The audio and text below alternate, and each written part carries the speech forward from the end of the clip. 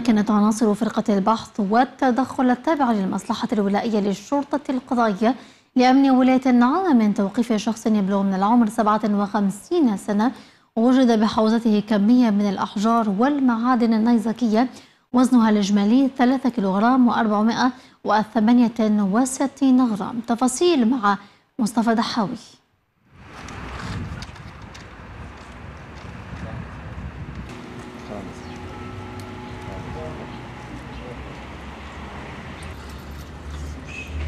Ik.